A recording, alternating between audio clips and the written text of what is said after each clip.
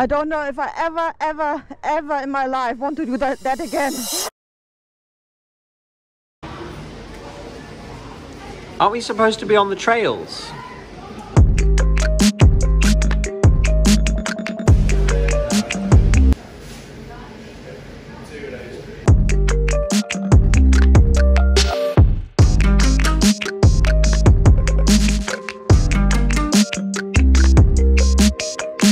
Afternoon guys, welcome back to the channel. It is day 23 on the Trans Euro Trail, riding 2,000 miles off-road through England and Wales to reach the border to Scotland. We just had a lovely late breakfast at Greggs, which is like £2.80 or something for a coffee and a sausage sandwich. You can't get better than that, can you? No, you can't. Breakfast and a coffee for 285. I love Greggs. We are here in the town of Kendal, just next to the Lake District. And we had a pretty slow morning this morning. It was raining until 10 a.m. This morning I felt so shattered. After the last few days, we have been really, really, really pushing to get as far as we can on trail because there's supposed to be really bad weather coming. So we've been putting in a lot of hours. And then yesterday it was raining the whole afternoon. It was super cold, super wet. I woke up this morning absolutely dead. Yeah, me too actually. But anyway, we are not giving up just now.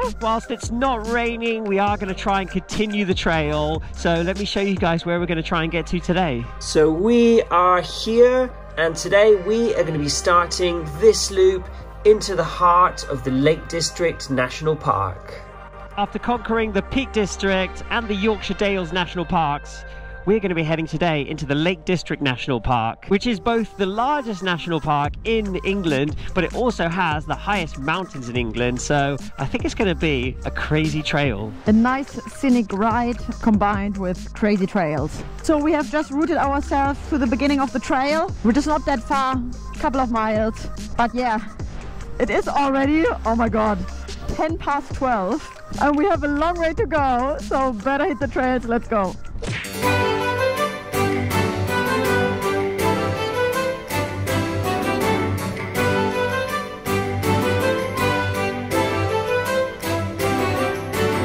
Look how many freaking chimneys are on top of these houses. That's mental. I don't know what it is about this area, but it seems to be the area of chimneys. Yeah, I mean, look how many chimneys are on every single chimney.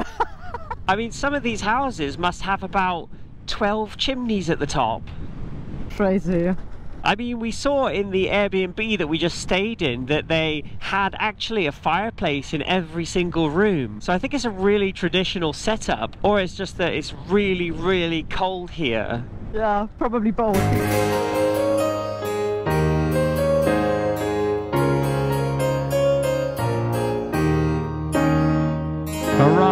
Officially entered the Lake District National Park. And this is our very first trail. Quite rocky, quite muddy? Quite rocky, quite muddy.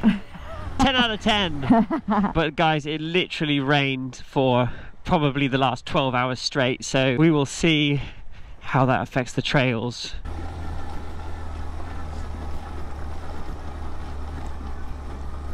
So far so good.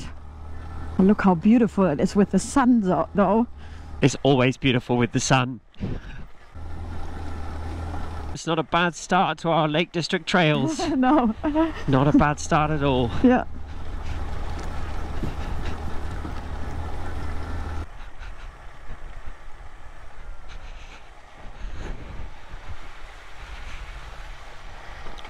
Did you go around? No, no, I went I went through the side bit. Well, I would just go through the middle here, no? Yeah, go through the middle. But just, yeah, just be a little bit careful on that soft stuff. Okay. Oh, yep. Oh, whoa!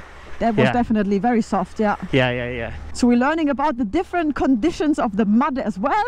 Some mud is very slidey, some mud is less slidey. but the question is, how can you tell? How can you tell? You have to ride through and see if you slide or not. Bit of a longer puddle here. Let's see. Let me see. Whoop. Up. That's okay. Up. Up. Up. A little bit slidey. I think if you stick in the middle, it's okay. Made it out alive. Yes. Let me pick some blackberries. Just a few. Wait, wait, wait. They're really inviting here. Wow. Yeah, they look good, Ollie. Have them all. Mmm. Seriously, Ollie. Wow. Mmm. That's worth it. You want a few more?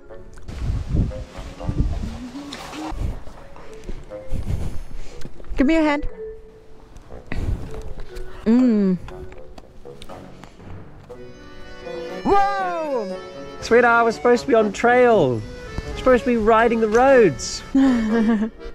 supposed to be taking on the rocky slopes of the Lake District. Not eating blackberries. One of my favorite things here in England. Open and closing gates.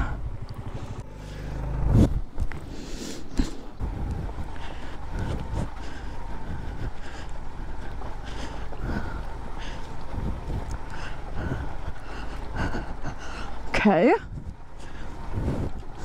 So far so good. Oh, oh. I slipped. I slipped. Very slippery actually. Very slippery. Three, two, one, go. Okay. There's literally a river running down this road. Look at this. Yeah. And my feet are wet again. We're riding up a slippery stone river. Don't know if this is the best trail in history, but it's there. Oh, you want some slippery rock? Yes, please. Are you stuck? What are you stuck on? Okay, let me give you a push. Three, two, one, go. Wait a second. Three, two, one, go. That's it. You're up the rock now. I saw. Ready, go. Yeah, it's just a little bit of slippery rocks. That's all. I took this road though. we are just coming up to Lake Windermere, the longest and largest lake in England. And I think we've got a little ferry ride this afternoon. cool! All passengers pay on board ferry. Perfect. Yeah. Is this ferry coming towards us right now? Yes, it is, hey? Or is it going on? Uh, I think it's coming towards us. Do you know when the ferry is leaving? Just straight after. Just straight after. Oh, okay. Whoa, cool. Here it is. Lake Windermere. Wow. Oh yeah, the ferry's coming now, isn't it?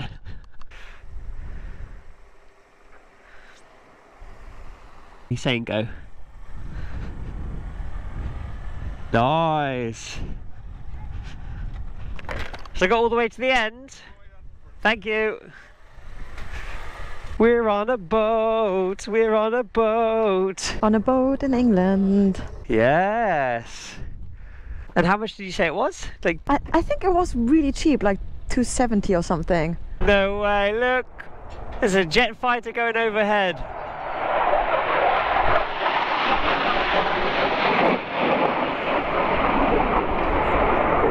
Wow. That's mental. Seriously, in my next life, this is my job. Jet fighter pilot. Yes. Let's just try to master this little 125 motorcycle first, shall we? oh, cool, and we're going already. Wow. Nice.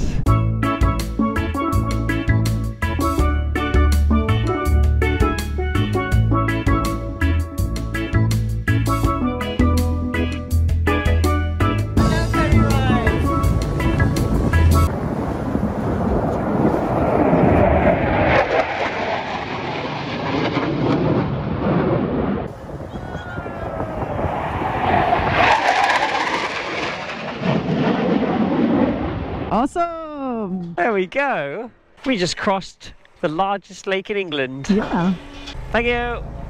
Bye bye. Thank you. Oh, cool. There we go. Nice views of the lake.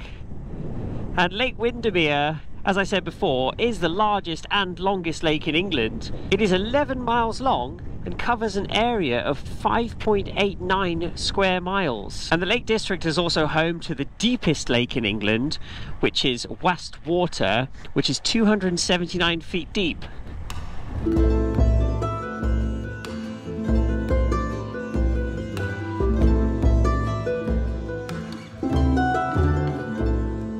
We were just having our first break of the day and we are already starting to see mountains. Yes, we found them finally. Because the first few green lanes we've been on today were like, couldn't see anything. Yeah, it was just very, very wet and it felt like that we were sort of riding through a river the whole time. So it is nice that we're starting to get a little bit higher and I'm excited to get into those bad boys over there. Yeah, they look beautiful. Really, really beautiful. But first we will have some sausage rolls from Greg. Four rolls for the price of three. I'll take that. Pretty good.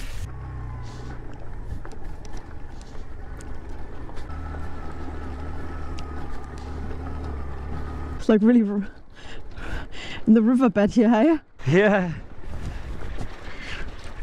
Just keeping one foot paddling along. Yeah.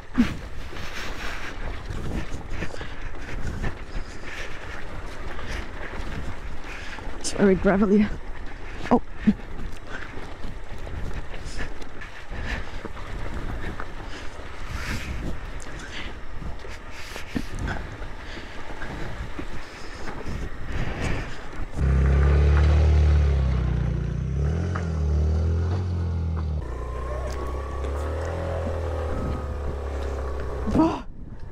Crazy absolutely crazy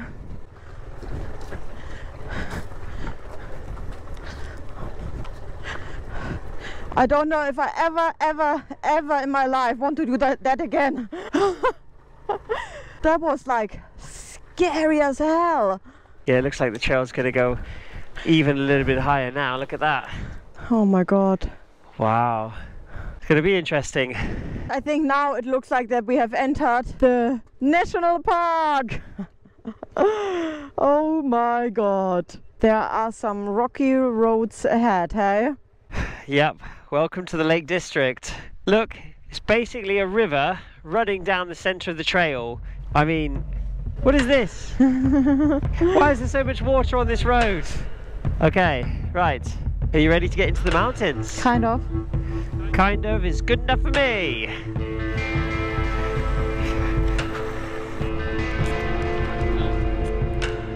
Let's just see first if our bikes can get up this. Because these rocks are quite slippery. They are, hey? Okay.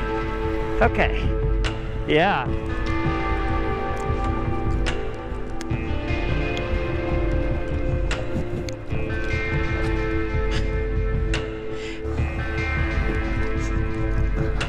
Okay.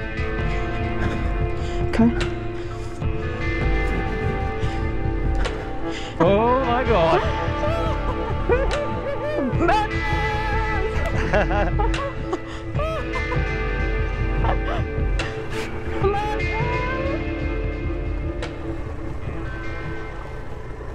Wow. Look at these views. That is absolutely crazy. Oh my god. Honestly, how can we possibly ride here? I don't know. I don't know.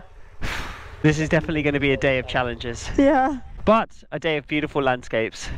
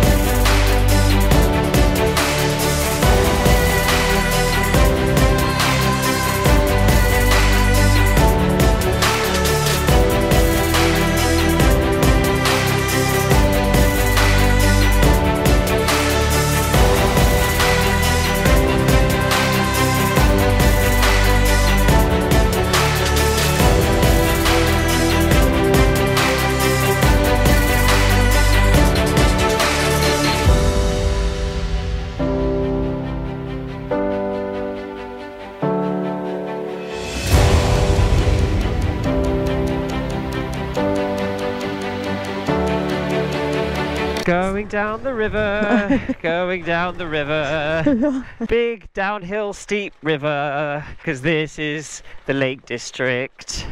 And apparently all the trails in the Lake District are just downhill rivers. Also, I hit all the rocks. Ooh. You're supposed to go round the rocks. Yeah, I really tried to, but it's not possible. I hit them all. I just can't believe how much water's on this road. Yeah. I mean, it's the entire path. Yeah. Hello. Hello. Oh, it's blocked. With-. Oh, there's a tree. Oh no. We'll go have a look at it. I'll see if I've got a chainsaw in my bag. Anyway, thank you for letting us know. Thank you. So apparently the guys told us that there is a tree down just up ahead that is blocking the path. So that might be it for us on this path at least. Let's see what it looks like. Oh, here we go. Okay. I'm not sure this is going to be one of those that I can actually uh, do anything about, unfortunately. I mean, look how high it is up here. We can't really get up there. Oh, look, a jet.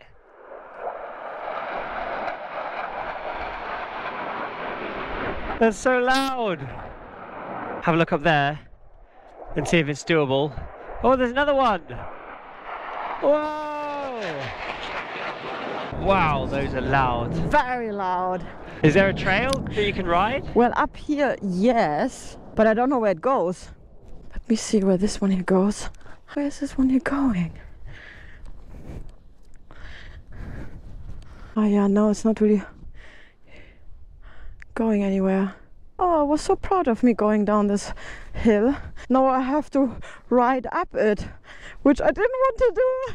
Oh, such a shame because there was literally only about 200 meters of trail left, and then afterwards it's back to the road there. Now we're going to go back to here uh-huh.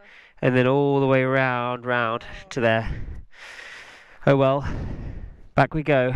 So we are now approaching the tallest mountains in the Lake District National Park.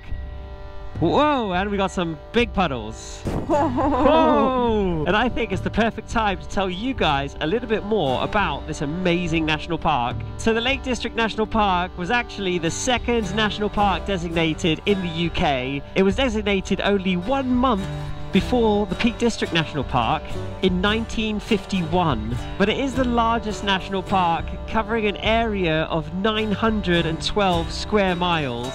And the national park is also a UNESCO World Heritage Site designated in 2017. So not only is the park home to the largest lake in England, Lake Windermere, but it's also home to the tallest mountain which is this mountain right in front of us, Scafell Pike, 978 meters tall. Now the name Scafell Pike comes from the Old Norse, Scar meaning bald and fell which is another word for hill. And pike is also the old english word for mountain.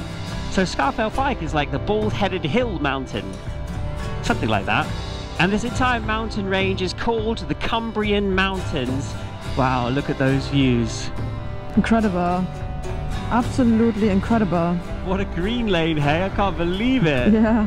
it's just running right in front of this amazing mountain And how big the waterfall is at the moment. Well, I'm not surprised considering what these roads look like.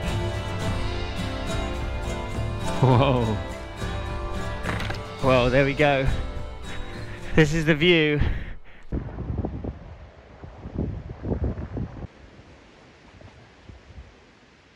Very, very nice views.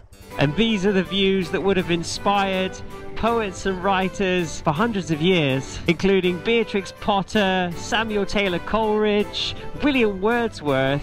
In fact, Wordsworth's poem, I Wandered Lonely as a Cloud, was inspired when he was on the shores of Lake Ambleside in the Lake District. But the region was first brought to the attention of artists and writers when it was mentioned in The Grand Tour of Thomas Gray in 1769. The Grand Tour was a journey of enlightenment basically taken on by rich people in the 1700s. And the Grand Tour also took people down into European places like Paris and Rome, but they included the Lake District as well. So it holds a very special place in English culture, in English history, and it's inspired many a beautiful written word.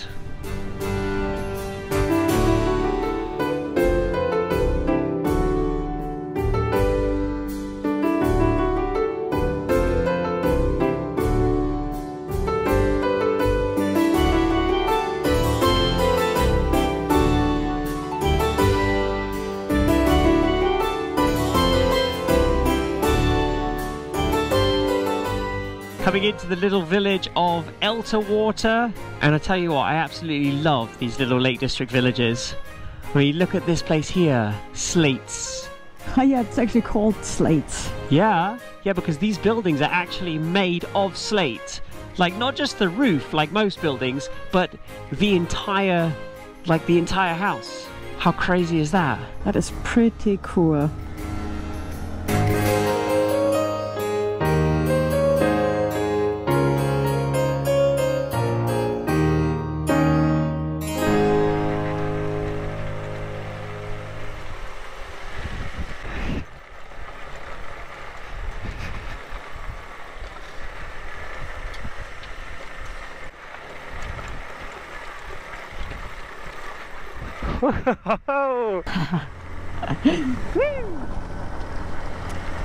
it's nice that the tracks are a little bit wider here so you can play around a little bit more. I mean, the way the Lake District Trail started off, I was a bit like, mm, I don't know how this is going to be, but I mean, look where we are now.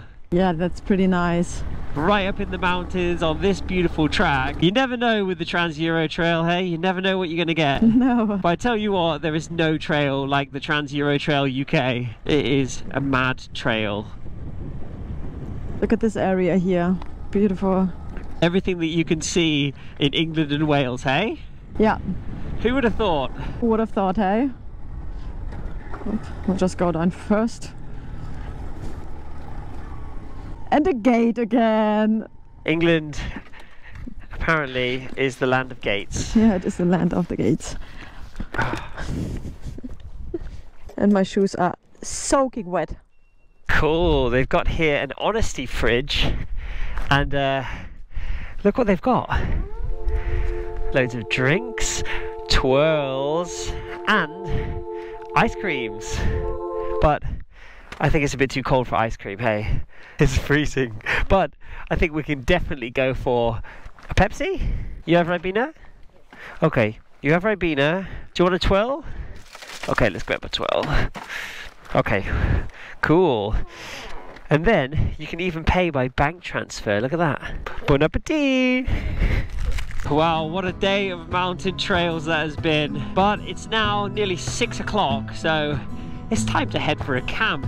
So we're going to be heading now through the village of Coniston and then heading to another village called Hawkshead where there seems to be a couple of camps. So we're going to go check those out and see if they got space for us.